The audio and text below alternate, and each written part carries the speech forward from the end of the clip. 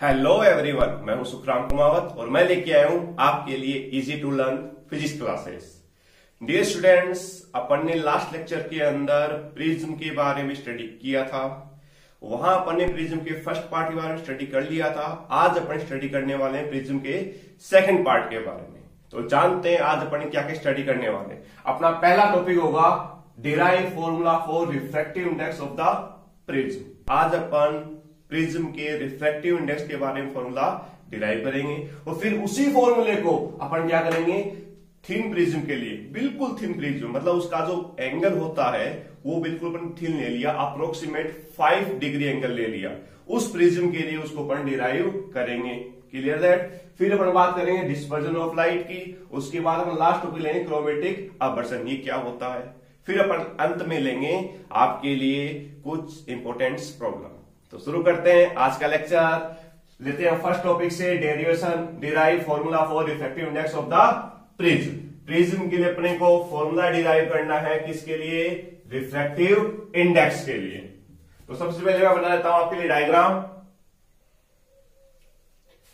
यह आपका प्रिज्म ऐसा ही होता है ना? ये प्रिज्म ले लिया अपन ने. ये मान लिया अपने पास. इंसिडेंट रे ये क्या आपकी इंसिडेंट रे तो क्या हुआ इंसिडेंट रे फिर अपन क्या करेंगे?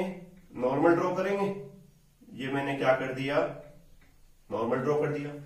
यहाँ एयर है, यहाँ क्या है? ग्लास रे एयर टू ग्लास जाएगी। तो क्या होगा? Towards the normal towards the normal क्या हो गई? है बैंड हो गई, चली गई। यहाँ पे भी क्या करेंगे अपन? इसके आगे की डायरेक्शन देखने के लिए। परपेंडिकुलर नॉर्मल ड्रॉ करेंगे? ये अपन क्या कर दिया एक और? नॉर्मल ड्रॉ कर दिया। अब क्या होगा? ग्लास टू एड्स आ रही है तो अवे फ्रॉम द नॉर्मल ये चली गई। कोई दिक्कत नहीं है। इसलिए को नाम देते पी इस पॉइंट को नाम दे दिया क्यू इस पॉइंट को आर और ये आपका एस और ये आपका आपका प्रिज्म है। प्रिज्म का एंगल ए बी और ये सी इसी क्या कहते हैं अपन प्रिज्म एंगल कहते हैं। कोई दिक्कत नहीं है। बता लिया अपन ने ये क्या होगा आपका इंसिडेंट एंगल क्या नाम दिया था अपन ने आई वन और ये क्या होगा आपका? रिफ्लेक्टिव एंगल आर कोई दिक्कत नहीं है। फिर अपन ने इसको क्या नाम दिया था? आर टू इसको तो मैंने क्या नाम दिया था? आई टू यहाँ तक कोई दिक्कत नहीं है। लास्ट वाली बात है जो अपन ने वापस से डिराइव की है, लिखी है। कोई दिक्कत नहीं है। अब देखो एक्चुअल रे जानी चाहिए थी। चली गई यू। तो उसको हम पीछे ड्रॉ करते हैं। क्या करते हैं अपन इसको? पीछे ड्रॉ करते हैं। एक्चुअली कि भैया ये रे तो ऐसे जानी चाहिए थी। और ये रे एक्चुअली यहाँ से आनी चाहिए थी। ये तो था ना? ये जो रे थी एक्चुअली यहाँ से आनी चाहिए थी। और इन दोनों के जो बीच का डेविएशन आया, उसे क्या कहा अपन ने? डेविएशन एंगल डेल और मिनिमम और डेल एम कर देंगे इसको अपन कोई दिक्कत नहीं है। यहाँ तक। चले आगे। इसको नाम दे दिया मैंने ओ इसको नाम दे दिया मैंने और एस यहाँ तक कोई डाउट नहीं है। शुरू करते हैं आगे। करना क्या अपने को? रिफ्लेक्टिव इंडेक्स निकालना। है रिफ्लेक्टिव इंडेक्स निकालने में क्या मानेंगे कि जो डेविएशन है, वो क्या हो रहा है? बिल्कुल मिनिमम हो रहा है। क्या हो रहा है डेविएशन मिनिमम डेविएशन हो रहा है। और मैंने बताया था कि यदि मिनिमम डेविएशन होगा, उसकी केवल और केवल एक कंडीशन होगी। वो कंडीशन क्या होगी? ये जो इंसिडेंट एंगल आई वन है इमरजेंट एंगल आई टू के बराबर होगा। आर वन किसके बराबर होगा? आर टू के बराबर होगा। अपने को लेके क्या चलना है कि जो डेविएशन हो रहा है, वो क्या और एक्चुअली मिनिमम हो रहा है। मिनिमम डेविएशन के लिए हम क्या मानते हैं? कि I one is equal to I two and R one is equal to R two for minimum deviation मैं लिख देता हूँ यहाँ पे। क्या लिखेंगे अपन? For minimum deviation minimum deviation के लिए क्या लिखेंगे अपन? I one is equal to I two is equal to I मान लिया। कोई दिक्कत नहीं है। And R one is equal to R two is equal to क्या मान लिया मैंने? आर यहाँ तक कोई डाउट नहीं है। निकालना क्या अपने को? रिफ्लेक्टिव इंडेक्स तो रिफ्लेक्टिव इंडेक्स का फॉर्मूला अपने पास क्या होता है? According to Snell's law according to Snell's law क्या कहता है? म्यूजिकल टू सब जानते हो आप? साइन आई अपोन में साइन आर इक्वेशन नंबर क्या देती है पढ़ने? फ़र्स्ट अब क्या चाहिए अपने को? म्यू निकालने के लिए। एंगल आई चाहिए और एंगल आर चाहिए एंगल आई चाहिए और एंगल आर चाहिए तो वो क्या करेंगे अपने इस डायग्राम से? फाइंड करेंगे। आई चाहिए अपने को क्या चाहिए और आर चाहिए तो ट्राइंगल लिखेंगे अपन। ओ क्यू आर ट्राइंगल ले रहा हूँ मैं। ओ क्यू आर देखना in triangle O Q R आप जानते हो ट्राइंगल के तीनों एंगल का टोटल सम कितना होता है? 180 डिग्री होता है। तो क्या लिख सकता हूँ क्या? एंगल ओ ये एंगल ओ ही है। Angle O plus R one को क्या मान लिया? आर आर टू को क्या मान लिया? आर तो angle R plus angle R is equal to one eighty degree कोई दिक्कत नहीं है। आर प्लस आर क्या मान लेंगे? टू आर डायरेक्ट लिख दिया और एंगल ओ ऐसा कैसा? Is equal to one eighty degree equation number क्या मान लिया अपन ने? टू मान लिया यहाँ तक कोई दिक्कत नहीं है। अब अपन बात करें इस क्वाड्रिलेटर की। A Q O R A Q O R ये क्वाड्रिलेटर है। क्वाड्रिलेटर के चारों कोणों का सम कितना होता है? 360 डिग्री ठीक है? अब देखेंगे इन चारों सम कितना है? 360 डिग्री है। पर एंगल क्यू की बात करें एंगल क्यू एक्चुअली है क्या? एंगल क्यू टोटल क्या है? 90 डिग्री एंगल आर भी टोटल कितना है? 90 डिग्री ये दोनों 90 है मतलब ये दोनों 180 हो गए। तो इन दोनों का सम कितना बचेगा? 180 बचेगा, नहीं बचेगा? क्लियर है? तो क्या लिख रहा हूँ मैं? In quadrilateral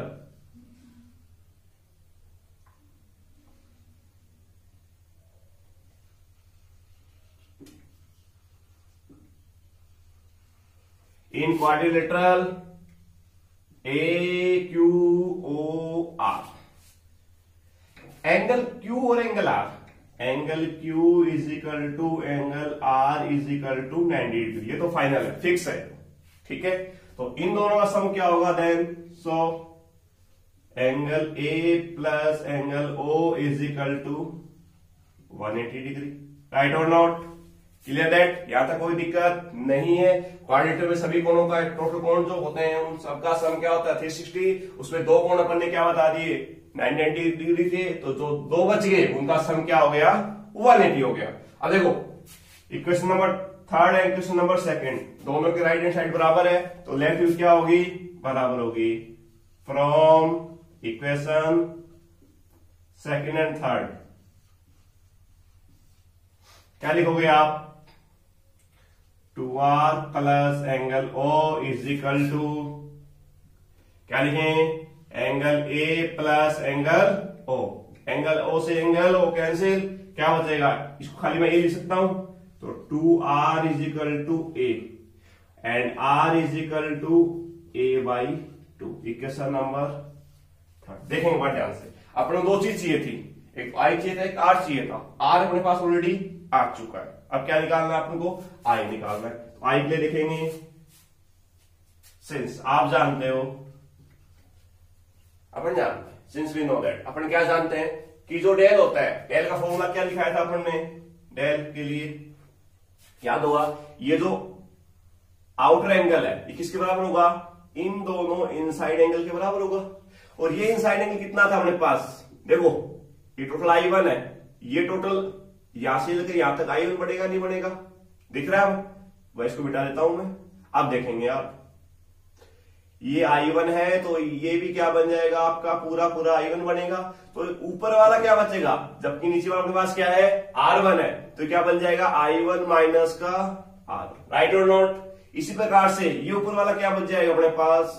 I two minus का आर टू दिख रहा है सबको? आई टू माइनस का आर टू कोई दिक्कत नहीं। और जो ऊपर वाला डायग्राम बनेगा, वो इन दोनों क्या बनेगा? सम बनेगा। ये पहले डिराइव कर चुके हैं, देख चुके हैं बता चुके हैं। I one minus R one plus I two minus R two equal to del M क्योंकि एक्सटर्नल एंगल का इजिकल टू क्या होता है? Internal angle, internal opposite angle के सम के बराबर होता है। तो इन दोनों का सम करना को। क्लियर दैट तो डेल इजिकल टू क्या लिखोगे आप? आई वन माइनस का R one plus I two minus का आर टू और अपन जानते हैं आई वन बराबर आई टू है आर वन बराबर आर टू है। तो आई माइनस का R one sorry plus I minus का आर तो आई आई कितना हो जाएगा? टू आई माइनस के टू आर टू आर इसके बराबर है। एक इक्वलेंट तो टू आई माइनस का ए क्या चाहिए आपको एक्चुअली आई चाहिए। तो क्या लिखेंगे यहाँ से? डेल एम लिख देते हैं इसको। मिनिमम डेविएशन की बात कर रहे हैं ना अपन। तो del M plus A is equal to two I and this implies I is equal to del M plus का ए अपॉन में क्यू इक्वेशन नंबर फोर देखेंगे अपने पास। आई भी आ चुका है और आर भी आ चुका है। कहा रख देंगे इक्वेशन नंबर फ़र्स्ट के अंदर। तो जो चाहिए था अपने को वो ड्राइव हो जाएगा क्या? चलिए फ्रॉम इक्वेशन फ़र्स्ट क्या लिख रहा हूँ मैं?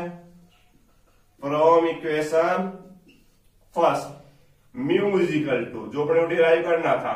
Reflectiveness mu is to sine I I की वैल्यू क्या अपने पास? Del M plus A by two और साइन आई आर कितना है अपने पास? Sine A by two.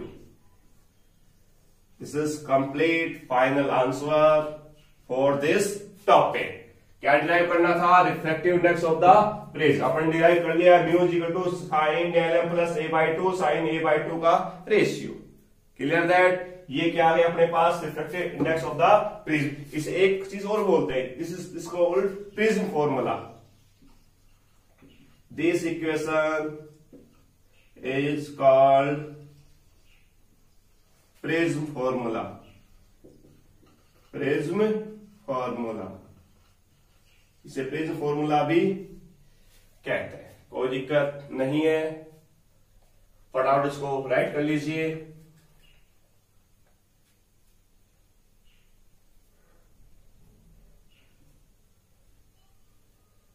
उतार लिया बस अभी ने।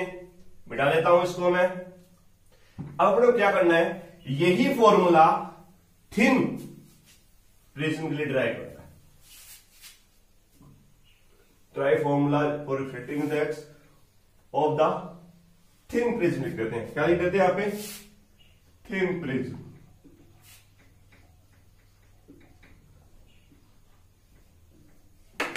किस लिए ड्राइव करना है फॉर्मूला अपने को थिन प्रिज्म के लिए। थिन प्रिज्म में क्या होता है? अपन जानते हैं, मैंने बताया था अभी भी आपको कि थिन प्रिज्म के लिए ये जो एंगल होता है, बहुत ही मिनिमम होता है, बहुत ही छोटा होता है। अप्रोक्स कितना लेते हैं अपन लगभग? फाइव डिग्री बहुत छोटा एंगल है।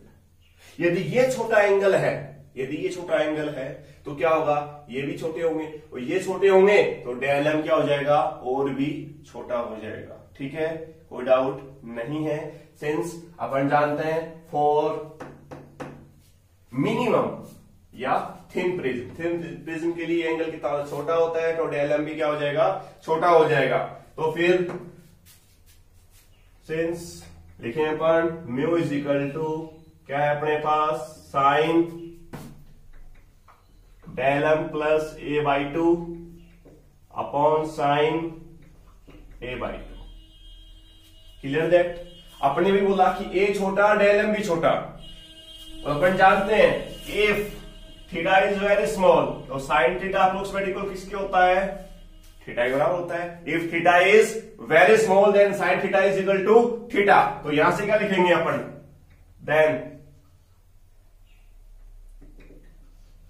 sine del M plus A by two approximate equal to del M plus A by two. होगा? Similarly sine A by two approximate equal to A by two यहाँ तक कोई दिक्कत नहीं है। From equation first we can say that क्या कह सकते हैं अपन? कि del M plus A by two upon A by two two से टू कैंसिल यहाँ तक कोई दिक्कत नहीं है। क्रॉस मल्टीप्लाई करें। तो mu A is equal to del M plus का ए एक उधर लेके जाए। एक कॉमन ले लें, क्या बचे अपने पास? Mu minus one is equal to del ये क्या आ गया अपने पास? मिनिमम डेविएशन आ गया किसके लिए? थिन प्रिज्म के लिए. ये किसके लिए आया अपने पास? थिन प्रिज्म के लिए मिनिमम डेविएशन के लिए अपने क्या निकाल दिया? फॉर्मूला डिराइव कर लिया. डेल बराबर क्या होता है? म्यू माइनस वन इंटू में ए जहाँ ए क्या होता है आपका? प्रिज्म एंगल होता है म्यू क्या होता है उसका? रिफ्लेक्टिव इंडेक्स होता है। जनरली वो क्या होता है? गिवन होता है। क्लियर दैट बात समझ में आ गई? यहाँ तक कोई डाउट नहीं है। चलिए आगे चलते हैं। अपन अपने थर्ड टॉपिक की ओर। थर्ड टॉपिक क्या था अपना? डिस्पर्जन ऑफ़ लाइट तो डिस्पर्जन ऑफ़ लाइट डिस्पर्जन मतलब समझते हैं आप? फैल जैसे मान लो, ये आपका प्रिज्म है। प्रिज्म काम क्या करता है? डिस्पर्जन कर देता है। जैसे मान लो ये लाइट आई अपने पास। ये क्या आ रही है? व्हाइट लाइट आ रही है। व्हाइट सनलाइट आई। इसने क्या किया? इस व्हाइट सनलाइट को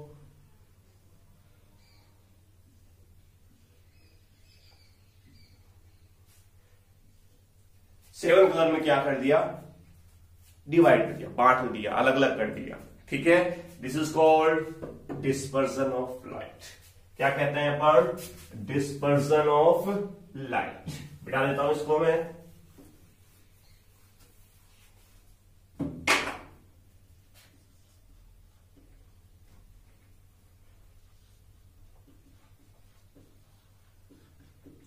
dispersion of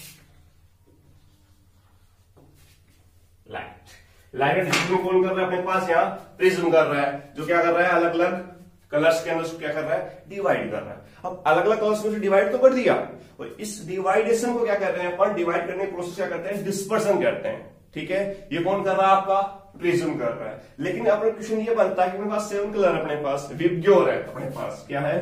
V I B G Y O R violet indigo blue green yellow orange red ये कलर होते हैं अपने पास। तो इसमें जो सीक्वेंस होगा किस प्रकार से होगा? कौन ज़्यादा डिस्पर्जन होगा, कौन कम डिस्पर्जन होगा? तो देखो आप, अपन जानते हैं कि जो आपकी लाइट होती है, उसकी जो वेलोसिटी होती है लाइट की वेलोसिटी होती है, वो म्यू के इनवर्सली प्रोपोर्शनल होती है। अपन जानते हैं?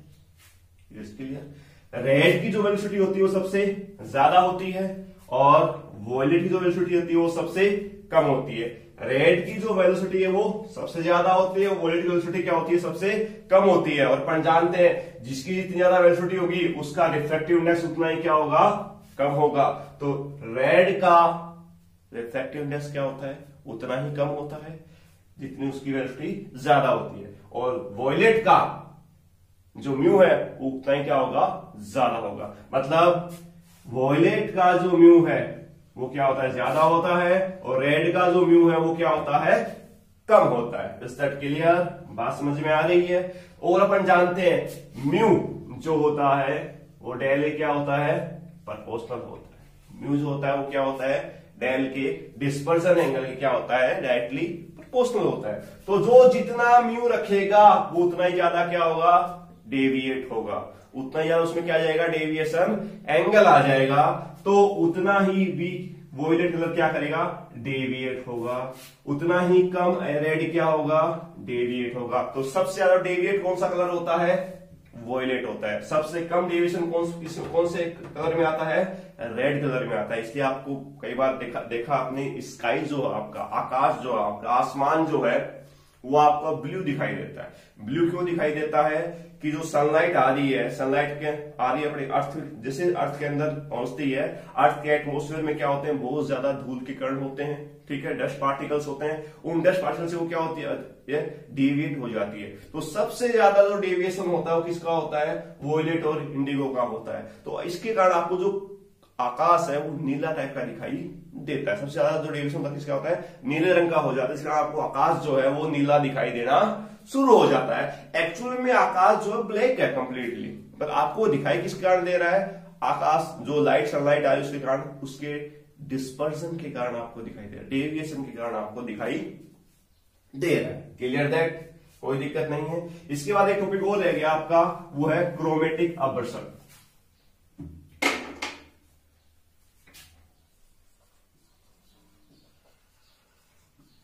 क्रोमेटिक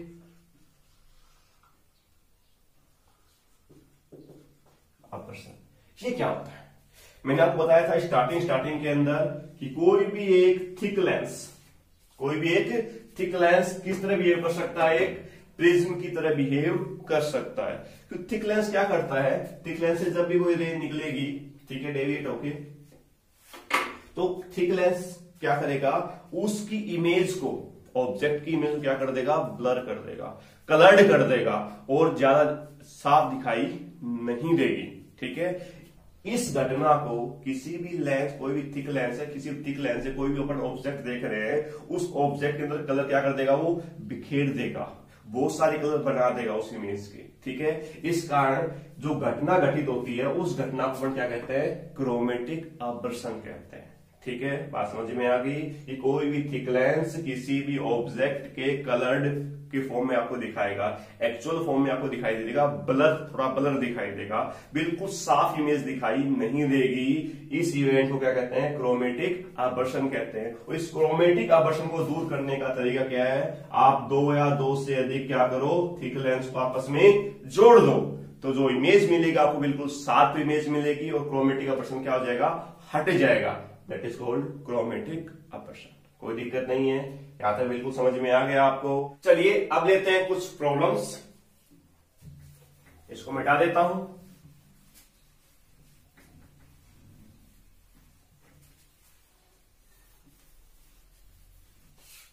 अपन बात करते हैं अपनी फ़र्स्ट प्रॉब्लम के बारे में। फ़र्स्ट प्रॉब्लम क्या कह रही है आपको? कि आपके पास एक प्रिज्म है।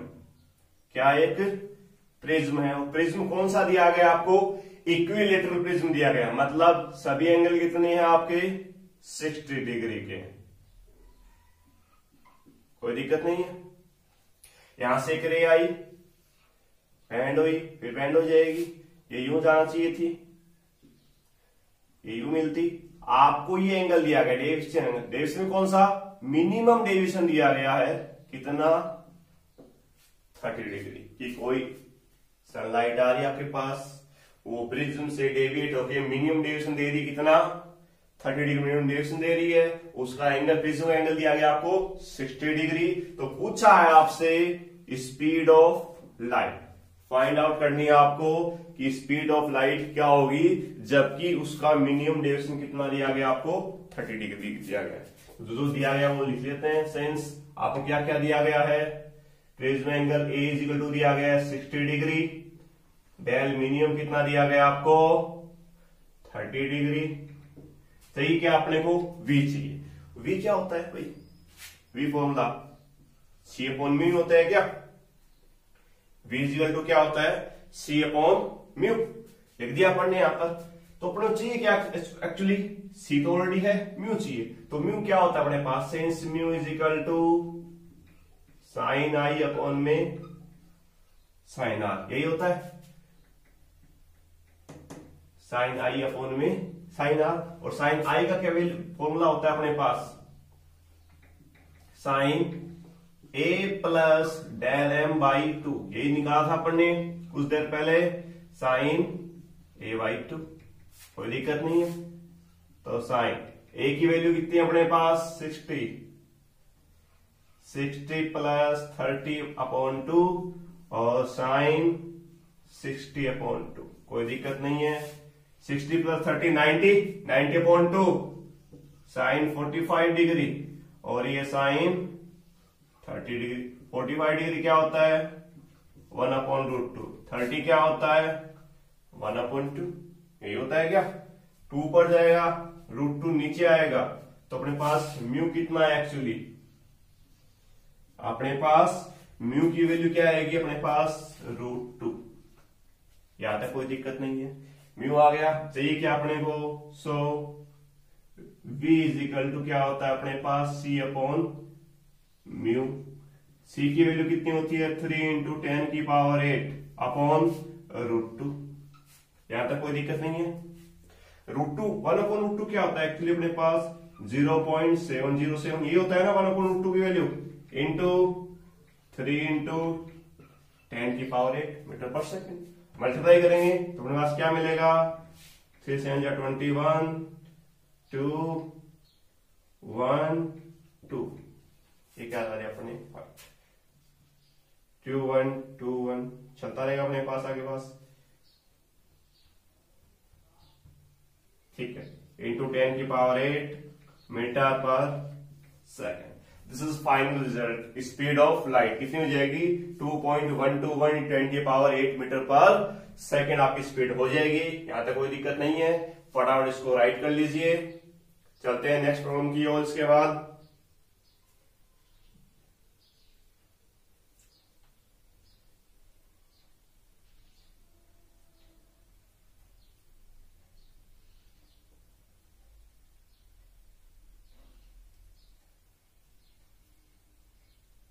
चलिए नेक्स्ट प्रॉब्लम लेते हैं अपन।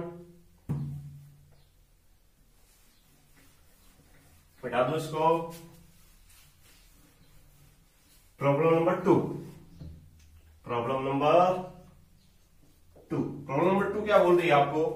कि आपके पास एक प्रिज्म है। और प्रिज्म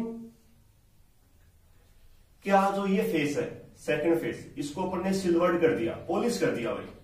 तो क्या किस तरह बिहेव करना शुरू कर देगा एक एज ए मिरर बिहेव करना शुरू कर देगा। इस ऊपर ने क्या कर दिया? सिल्वर्ड कर दिया तो किस तरह बिहेव करना शुरू करेगा? एज ए मिरर बिहेव करेगा। अपने पास क्या आ रही है? रे आई। रे टकरा के अंदर जाएगी। कोई दिक्कत नहीं है। इसका जो आपका रिफ्लेक्शन एंगल दिया गया आर वो दिया गया आपको थर्टी डिग्री कोई दिक्कत नहीं है। आर दिया गया आपको थर्टी डिग्री दिया गया है। और आपसे ये पूछा है कि ऐसा आई बताइए, वो आई बताइए, वो आई फाइंड आउट कीजिए, वो इंसिडेंट एंगल फाइंड आउट कीजिए, जिससे ये रे इस सरफेस से टकराकर दोबारा इसी पाथ को क्या करे? रिट्रेस करे। सिल्वर सरफेस से टकराए, दोबारा क्या करे? इसी पाथ को रिट्रेस करे। उसके लिए क्या करना है आपको? इंसिडेंट एंगल फाइंड आउट करना है। अब आप जानते हो, ये आई वन और ये आपका आर वन ठीक है, या आई आर मान लो इसको। ये जो एंगल होता है, यदि कोई रे यहाँ टकराएगी, दोबारा इसी पाथ पे जाएगी उसके लिए क्या होना चाहिए कि जो रे है, वो नॉर्मली इंसिडेंट होनी चाहिए। मतलब इंसिडेंट एंगल क्या होगा? ज़ीरो इस पाथ इस सरफेस पर इंसिडेंट एंगल क्या होगा? ज़ीरो मतलब यहाँ पे आई डैश की वैल्यू क्या होनी चाहिए? ज़ीरो तो रिफ्लेक्टिंग इंडेक्स आर डैश पे क्या होना चाहिए? ज़ीरो कोई दिक्कत वाली बात नहीं है। बात समझ में आ गई? क्वेश्चन दोबारा सुन लीजिए कि एक प्रिज्म है, उसका एक सरफेस अपने क्या कर दिया? सिल्वर्ड कर दिया। आपको एक रे डाली। और रे क्या क्या करनी चाहिए रे वापस उसी पाथ पर रेट्रेस होनी चाहिए। उसके लिए आपको इंसिडेंट एंगल फाइंड आउट करना है। जबकि आपको रिफ्लेक्टिंग एंगल दिया गया थर्टी डिग्री और आपको इसका म्यू दिया गया है one point four one four कोई दिक्कत नहीं है। इज़ दैट क्लियर तो शुरू करें इसके लिए। अब देखो, क्या दिया गया आपको? Since i dash is equal to r dash चौदह वैसे लिख दो। I two r two is equal to क्या दिया गया आपको? ज़ीरो दिया गया है। कितना दिया गया है? ज़ीरो दिया गया है। क्लियर दैट और अपन जानते हैं ए इज़ इक्वल टू क्या होता है? R one plus r two ही होता है। और यहाँ आर टू की वैल्यू कितनी है? ज़ीरो है। तो आर वन प्लस ज़ीरो और आर वन कितना दिया गया एक्चुअली आपको? थर्टी डिग्री दिया गया है। तो ए इज़ इक्वल टू क्या मिल गया आपको? थर्टी डिग्री मिल गया। ये एंगल कितना मिल गया आपको? थर्टी मिल गया। कोई दिक्कत नहीं है। ए क्या मिल गया आपको? थर्टी मिल गया। अब क्या करें आगे? सोल्व करते हैं इसको। चलिए सोल्व करते हैं इसको।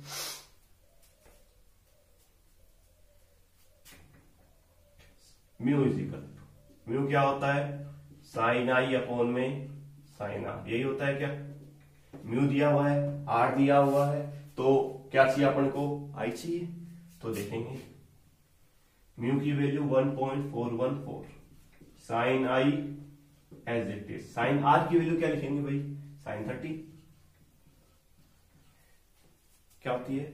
Sine thirty. कोई दिक्कत वाली बात नहीं है। तो अपने पास यहाँ क्या आएगा एक्चुअली सही लिखा क्या अपन साइन आई अपॉन में साइन थर्टी।